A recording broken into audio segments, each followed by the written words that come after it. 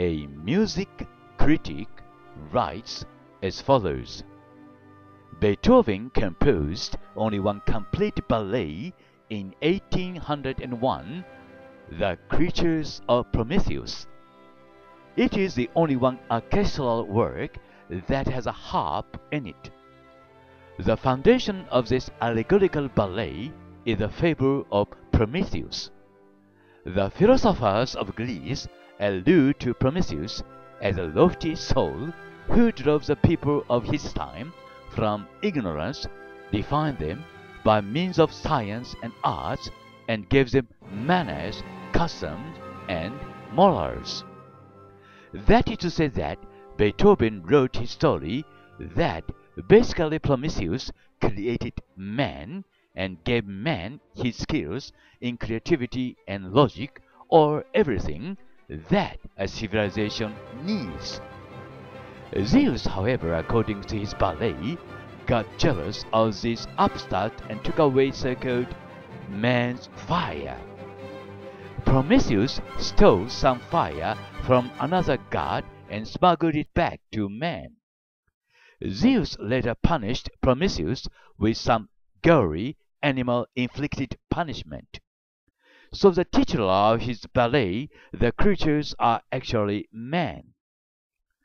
The ballet itself portrays a man and woman being given these artistic and technological gifts and learning to play music and dance from various gods whom Prometheus introduced them to.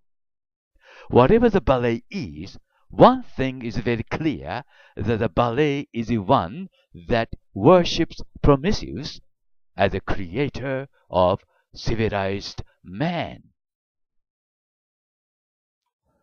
ベートーベンは1801年にバレエを完成しています。完成されたバレエはこの一つだけと言われています。それがプロメテウスの創造物です。ハープが使われたのはこの曲だけとも言われています。もちろんこのバレエはプロメテウスを称えたものです。プロメテウス、つまり人間を無知から解放し、科学と芸術によって人間を作り変え、マナーと道徳を教えたのがプロメテウスということになります。つまりベートーベンは基本的には人間を創造したのはプロメテウスであり、文明に必要な能力と想像力を与えたのがプロメテウスだということを認めていたということになります。が、あくまでもこのバレエによれば、ゼウスがそれに嫉妬し、人間の火を、人間の火を人間から奪い取ってしまいます。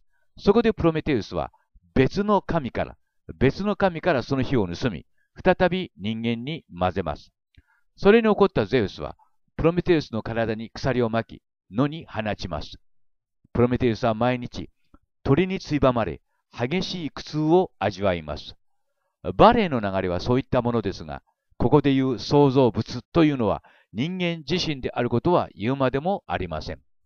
創造された男と女がプロメテウスに紹介された神々から音楽を授かり、そして踊ります。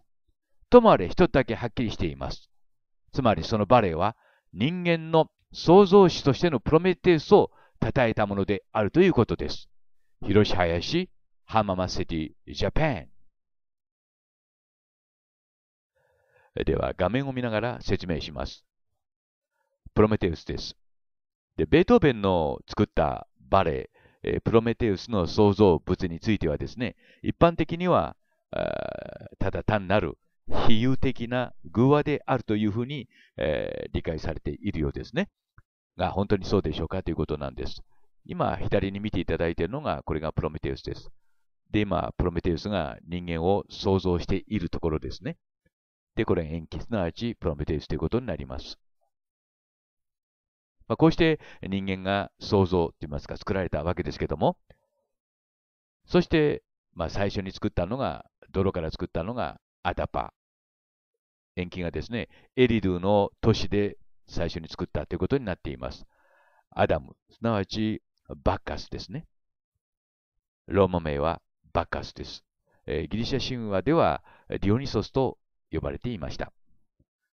で、これが今、アダム、すなわちディオニソス、すなわちバッカスということになります。まあ、これも林博説ということになります。で、プロメテウスを題材にして、ディオニソスの像を元にして作ったのが自由の像ということになります。で、プロメテウスも自由の像も足に鎖が、まあ、巻いてあります。しかし、まあ、プロメテウスの像というのは少ないわけですね。ですから、ディオニソスの像を元にして、えー、自由の像ができたというふうに、林印は考えています。その証拠に今言いましたように足に鎖が巻いてある。すなわち、えー、プロメテウスだということですね。で、手には松明を持っていると。まあ、このような形で自由の像ができたということです。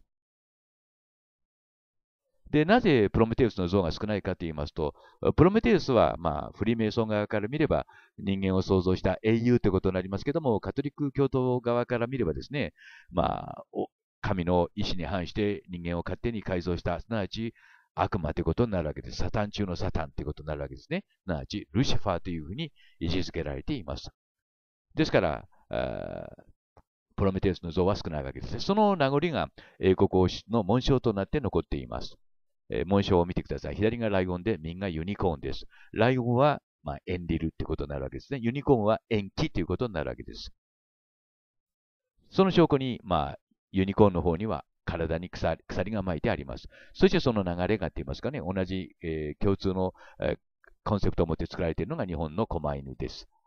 左右は判定しましたが、左がライオンで、右がユニコーンです。ですから、狛犬の一方の側の、まあ、犬ではありませんけど、神なんですよ。の頭には角があります。注意深くご覧ください。これは、あの、高野山の神社に祀ってある狛犬です。犬ではありませんよ。右が延期、左がエンリルということになります。なわち、ライオンとユニコーンということになるわけです。なわち、左がですね、エンリル、右が延期ということになります。これはミトラ教の神事の様子ですけども、やはり左にエンリルがいますね。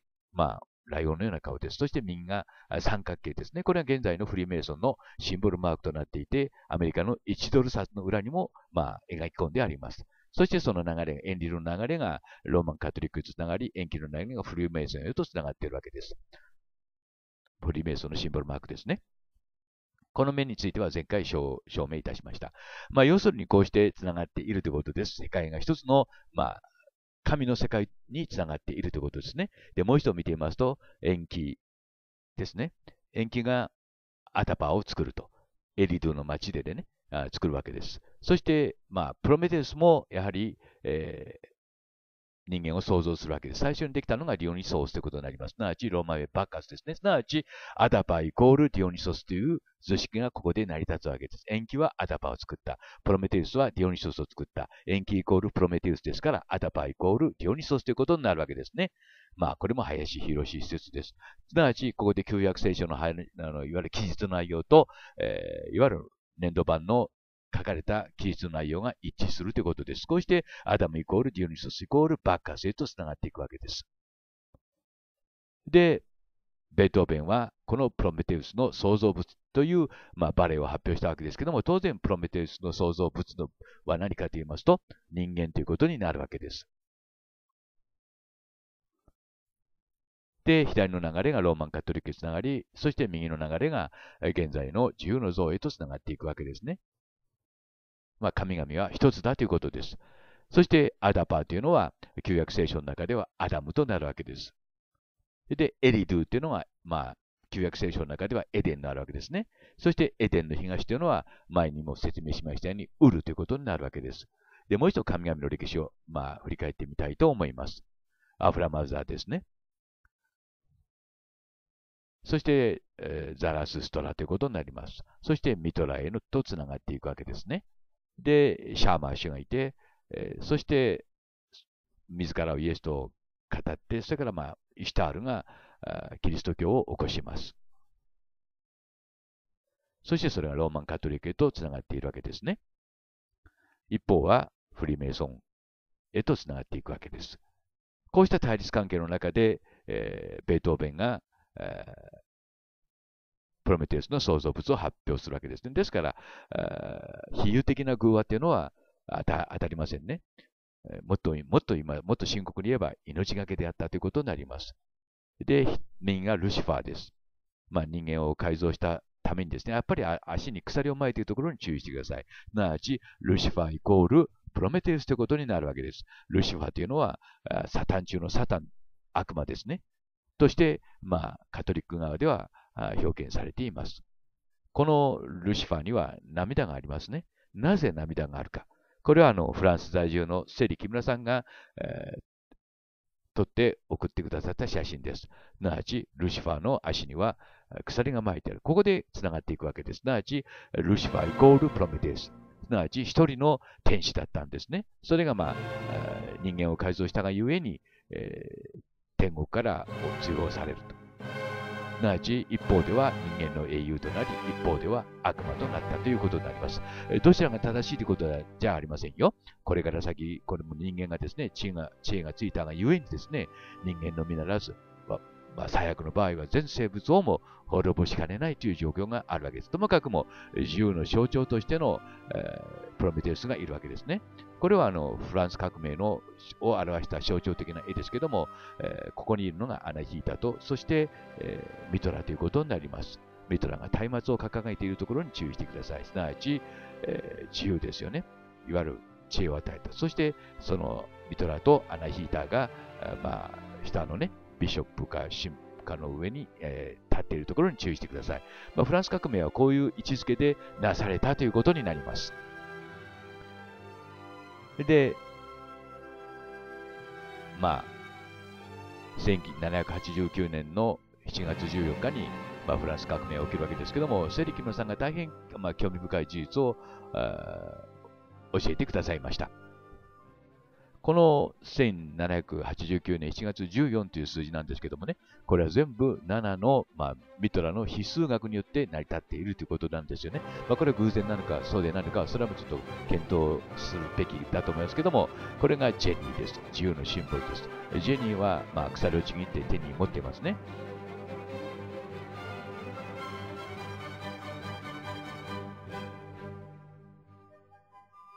で結論ということになりますけども、ベートーベンはプロメテウスの創造物という、まあ、バレエを発表しました。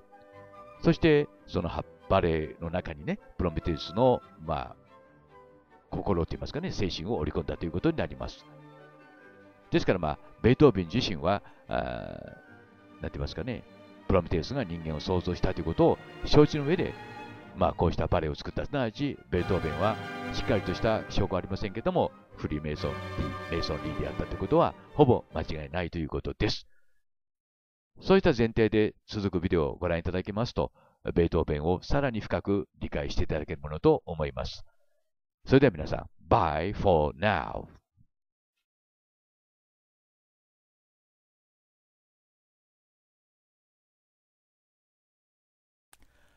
Hello, this is Hiroshi Hayashi, Akatsuki, Japan. May the 30th, 2014. Who is the hero? Mystery of Number 3 Symphony.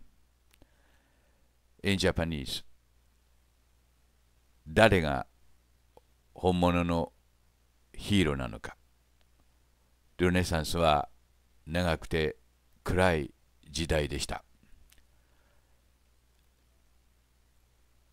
まさに暗黒の時代だったと言えます。宗教と政治が結託し多くの人は窒息していましたそういった流れの中からフランス革命が起きたわけであります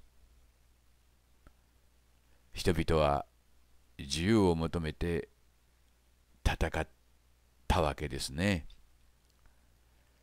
まあ、それについては以前にもビデオを作りましたが、が、それで本当に人間は自由になったのでしょうか。そのフランス革命の後出てきたのがナポレオン・ボナパルトです。当初は彼もそれなりのそれなりの人であったかもしれませんけども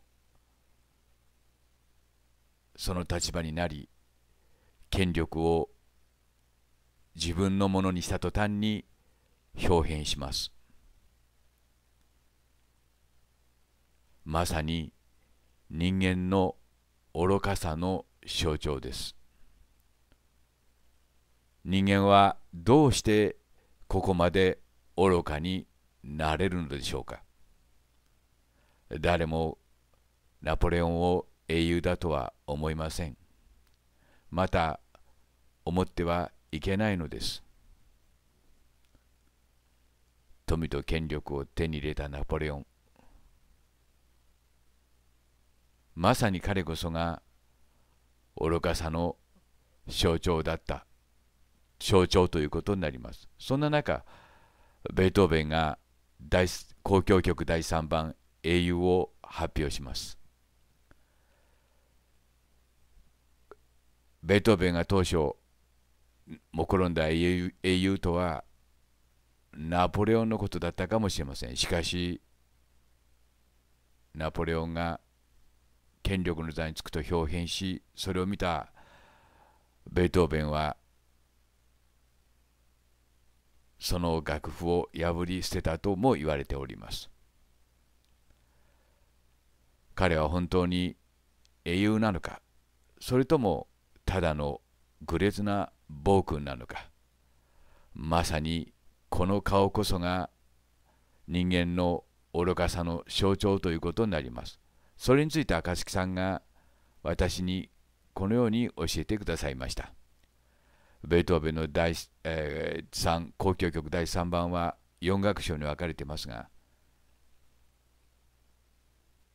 まあ、エロいか、英雄らしきという意味だそうですね。英雄のような人という意味だそうです。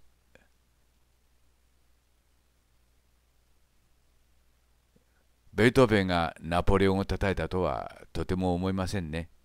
ということで、赤月さんのメールをお読みください。